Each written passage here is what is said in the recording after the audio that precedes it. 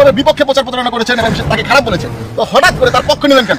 আসলে দেখেন হিরো আলমের বিরুদ্ধে আমার যত অভিযোগ ছিল সেদিন হিরো আলমকে পিটিয়ে পিটিয়ে রক্তাক্ত করেছে রাজপথে সেদিন থেকে আমি তো হিরো আলমের বিপক্ষে যাইতে পারি না। শুধু আমি না পাগল আর শিশু ছাড়া কেউ হিরো আলমের বিপক্ষে এখন যাওয়ার অবস্থান নাই। সব জায়গায় আমাদের ক্যামেরা থাকবে। একেবারে বেছে বেছে ছেকে ছেকে ধরে ধরে তাদের উপযুক্ত শাস্তি দেওয়া হবে।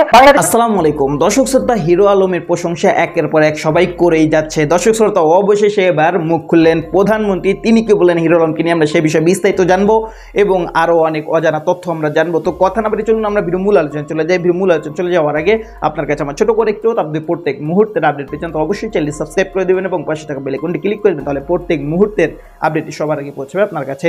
দর্শক, কথা না বলে চলুন, আমরা ভিডিওগুলো বিস্তারিত দেখে আসি। হিরো আলমের বিপক্ষে প্রচার প্রচারণা করেছেন এবং তাকে খারাপ বলেছেন তো হঠাৎ করে তার পক্ষ নিলেন কেন? আসলে দেখেন, হিরো আলমের বিরুদ্ধে আমার যত অভিযোগ ছিল যেদিন হিরো আলমকে পিটিয়ে পিটিয়ে রক্তাক্ত করেছে রাজপথে।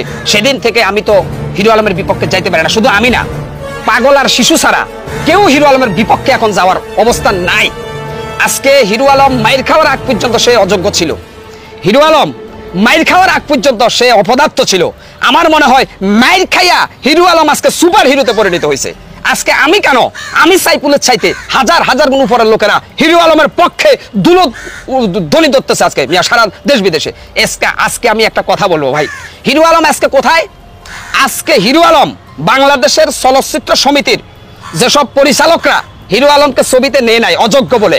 আমি আপনাদের বিবেকের কাছে প্রশ্ন করি, হিরো আলমের যে জনপ্রিয়তা, যে গ্রহণযোগ্যতা, বাংলাদেশের কোন সুপারস্টার নায়ক হিরো আলমের আশেপাশে আছে?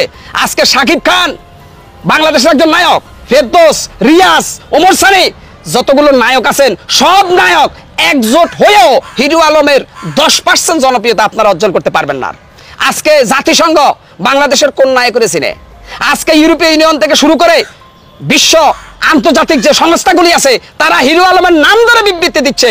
আর বাংলাদেশের যে চলচ্চিত্রের যে নায়কেরা আছেন, আপনারা যদি একশো বছর হায়াতে বেঁচে থাকেন, হিরো আলমের জায়গায় আপনারা আর কোনোদিন যাইতে পারবেন না। কারণ হিরো আলমকে আওয়ামী লীগ স্মরণকালের স্মরণীয় জনপ্রিয় ব্যক্তিত্বে পরিণত করেছে, এটা আমি হকারের দোষ না। এটা অন্য কারও দোষ না। আজকে যারা দালাল বলেন, হিরো আলমের পক্ষে কথা বলার কারণে, আপনারা তো ভাই আপদগ্রস্ত। যখন যেই পরিস্থিতি, সেই পরিস্থিতিতে কথা বলতে হবে। আজকে হিরো আলমের অবস্থান আর নির্বাচনের আগ পর্যন্ত অবস্থান কি এক? আজকে হিরো আলম রক্তাক্ত হওয়ার পরে সে কেঁদে কেঁদে বলছে যে, আমাকে রাস্তা কুত্তার মতো ফিটাইছে মিয়া, একজন নিষ্ঠুর মানুষেরও হৃদয় গলে গেছে হিরু আলমের জন্য। আজকে হিরু আলম বাংলাদেশের টক অব দ্য শিরোনাম। আজকে হিরু আলম ওই যে আমেরিকার যে প্রেসিডেন্ট ছিল, যে আব্রাহাম লিঙ্কন, সেও নাকি কালো কুশ্রি ছিল দেখতে। সে আমেরিকার প্রেসিডেন্ট আব্রাহাম লিঙ্কনের জায়গা দখল করতে বসেছে হিরু আলম। আজকে হিরু আলমকে আওয়ামী লীগ স্মরণকালের স্মরণীয় একজন জনপ্রিয় ব্যক্তিত্বে পরিণত করেছে। আজকে হিরু আলম চলচ্চিত্র সমিতি যারা আছেন, আপনাদেরকে হিরু আলম প্রমাণ করে দিয়েছে যে নিন্দুকের নিন্দা হিরু আলমের আজকের এই অবস্থানে আসতে সহায়তা করেছে। আজকে হিরু আলমকে নিয়ে যদি কথা বলতে চাই, আমি মনে করি আগামী দিনে হিরো আলম নিয়ে বাংলাদেশে একটা বই লেখা হবে, যেটা ইতিহাসের পাতায় ঠাই পাবে। আজকে হিরো আলম নিয়ে বাংলাদেশে যদি কেউ কবিতা আবৃত্তি করে, সেই কবিতা সবচাইতে বেশি চলবে একুশে বই মেলায় আজকে হিরো আলম হয়ে যাবে বাংলাদেশের বড় বড় প্রখ্যাত গবেষকদের কাতারে। কারণ হিরো আলমকে যেভাবে পিটাইছে ভাই, এভাবে মানুষকে মানুষ পিটাইতে পারে না। হিরো আলমকে যেভাবে সোরের মতো একজন পকেট মায়ের একজন সোরকো মানুষ এভাবে পিটায় না। যেভাবে হিরো আলমকে পিটাইছে। এতে করে কি হয়েছে? এতে করে আওয়ামী লীগ সারা দেশের জনগণের কাছে বিতর্কিত। আজকে হিরো আলমকে কোটি কোটি মানুষ ভালোবাসে। এখন এই অবস্থায় যদি কেউ হিরো আলমের বিপক্ষে কথা বলে, আমার মনে হয় পাবলিক ওরে জুতার বৃষ্টি নিক্ষেপ করব চেহারার উপরে। কেন রে ভাই? কারণ হিরু আলম আজকে মজলুম। হিরু আলম হয়ে গেছে মজলুম, আর হিরু আলমের উপরে যারা আক্রমণ করেছে, তারা হয়েছে জালেম। অতএব আমার বক্তব্য নিয়ে আপনি প্রশ্ন করেছেন এবং আমি বলেছিলাম যে হিরো আলম এমপি নির্বাচিত হতে পারলে আমি হাতে চুরি করব। সেই সুযোগও তো আমাকে দেন নাই। কারণ হিরো আলম জিতলে যতটুকু লাভ হইতো, হিরো আলম হারার পরে তার চাইতে ডাবল লাভ হয়েছে এখন। হিরো আলম তিন মাস, চার মাসের জন্য এমপি হয়ে তিনি কি করতে পারতেন? আরে গুলশান সতেরো আসনে ঢাকায়। তিনি কি করতে পারতেন চার মাসে? কিন্তু তিনি এখন যেটা করেছেন, সেটা হচ্ছে দেশ বিদেশে তিনি আজকে আলোচিত। নাম হইল মির্জা ফখরুল থেকে শুরু করে বিএনপির এমন কোন শীর্ষস্থানীয় নেতা নাই, যেই নেতার না মুখে হিরু আলমের বুলি নাই। এমনকি আওয়ামী লীগের স্বরাষ্ট্রমন্ত্রী থেকে শুরু করে পুলিশের উদ্যোক্তন কর্মকর্তা থেকে শুরু করে বাংলাদেশের সুশীল সমাজ থেকে শুরু করে প্রত্যেকটা গণ্যমান্য ব্যক্তির মুখে মুখে হিরু আলমের বুলি। এই যেন হিরু আলম বাংলাদেশের মানুষকে ময়না তোতা পাখির বুলি শেখাচ্ছেন। আজকে হিরু আলমকে নিয়ে আমরা অনেকে কষ্ট তুলেছি। কিন্তু আজকের হিরো আলম আর বিগত দিনের হিরো আলমের মধ্যে আসমান আর জমিন তফাত দেখেন, একজন মানুষ কখন জনপ্রিয় হয়? একজন মানুষ কখন আইডল হয়?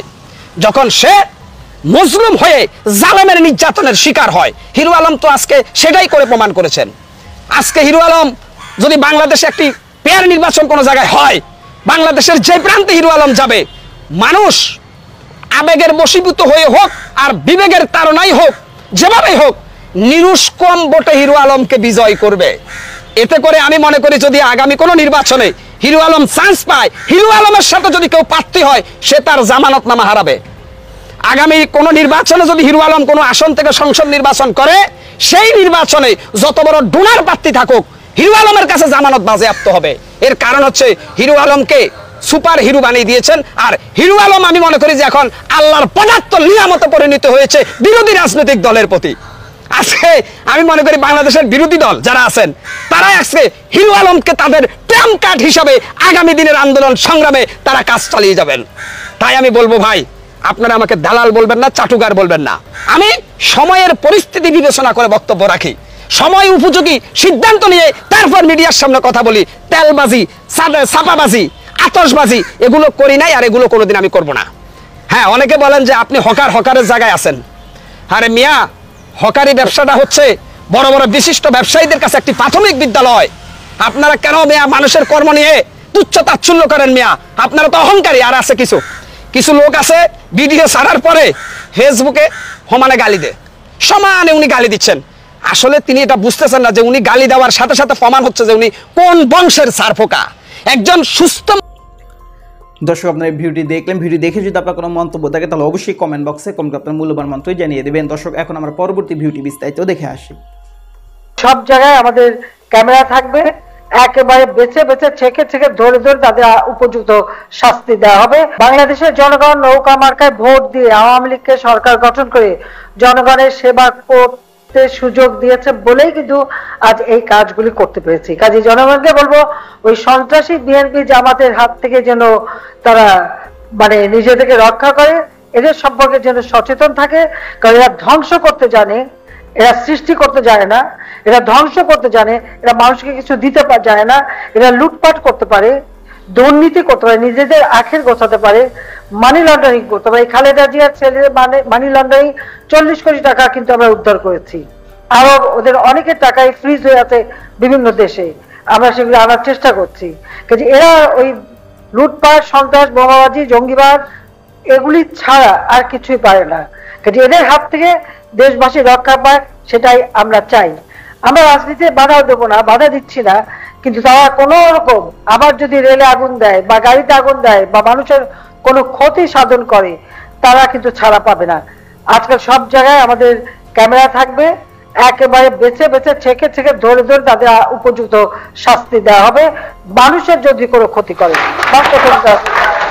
এভাবে সবাইকে সচেতন থাকবেন আপনারা সচেতন থাকবেন। আমি ধন্যবাদ জানাই এই আখাউড়া লাকসাম এই অঞ্চলে সবথেকে বেশি অগ্নি সন্ত্রাস করেছিল। কিন্তু স্থানীয় লোক এবং সেখানে আনসার বিজেপি পুলিশ, আমাদের আইন শৃঙ্খলা রক্ষাকারী সংস্থা, রেল পুলিশ, সবাই মিলে কিন্তু এটা মানুষকে রক্ষা করেছে। কিন্তু অনেক ক্ষতি আমাদের করেছে। কাজে আর জন্য কোনো জাতীয় সম্পদের ক্ষতি করতে না পারে, মানুষকে মারতে না পারে, সে ব্যাপারে সবাই সতর্ক থাকবেন, সেই আবেদন আপনাদের কাছে। যার আমি চাচ্ছি যে আমাদের আজকের এই অনুষ্ঠানের মধ্য দিয়ে ঢাকা, চট্টগ্রাম একটা নতুন মানে তো দর্শক, আপনারা সম্পূর্ণ ভিডিও দেখলেন আর সম্পূর্ণ ভিডিও দেখে যদি আপনার কোনো মন্তব্য থাকে, তাহলে অবশ্যই কমেন্ট বক্সে কমেন্ট আপনার মূল্যবান মন্তব্য জানিয়ে দেবেন। দর্শক, কথা বলতে বলতে আমরা ভিডিও শেষ পেয়ে চলে এসেছি। ভিডিও শেষ করে বিশেষ করে আপনার কাছে আবার অনুরোধ করছি, আপনি প্রত্যেক মুহূর্তের আপডেট পেয়েছেন তো অবশ্যই চ্যানেল সাবস্ক্রাইব করে দেবেন এবং পাশে থাকা বেলাইকনটি ক্লিক করে দেবেন, তাহলে প্রত্যেক মুহূর্তের আপডেট সবার আগে পৌঁছাবে আপনার কাছে। দর্শক বিশেষ করে সবাই ভালো থাকবেন, সুস্থ থাকবেন। আল্লাহ হাফেজ।